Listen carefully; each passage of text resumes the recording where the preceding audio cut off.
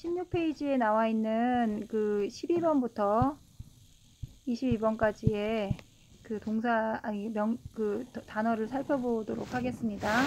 이게 이제 저번에 이제 그 설명을 하다 보니까 여기 11개의 문장의 예문을 설명하는 게 너무 길더라고요. 그래서 어, 예문은 조금 더 이제 짧게 하고 어, 여기 이제 단어를 한번 같이 보겠습니다. 어, 여기 단어에 대한 발음을 이렇게 써놨는데 바, 발음을 보시고 어, 발음을 이제 익히신 다음에는 단어를 보시고서 읽을 줄 아셔야 될 것 같아요. 같이 처음부터 보면 여기는 이제 사실 교과서 페이지니까 이제 일련 번호라고 생각하지 마시고 교과서 어디에 나와 있는지를 표시한 그 번호입니다.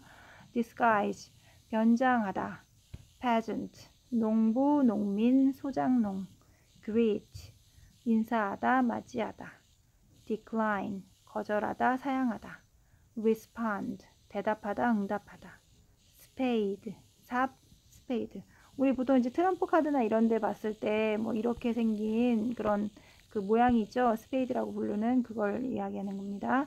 그, 그 모양이 이제 여기 이제 그 산 모양을 따온 거예요.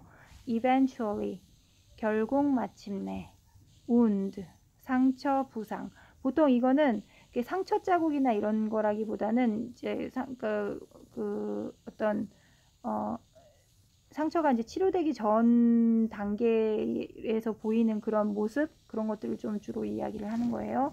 그다음 bandage 붕대를 감다, exhausted 기진맥진한, stare 빤히 쳐다보다 응시하다. 오늘 단어는 여기까지입니다.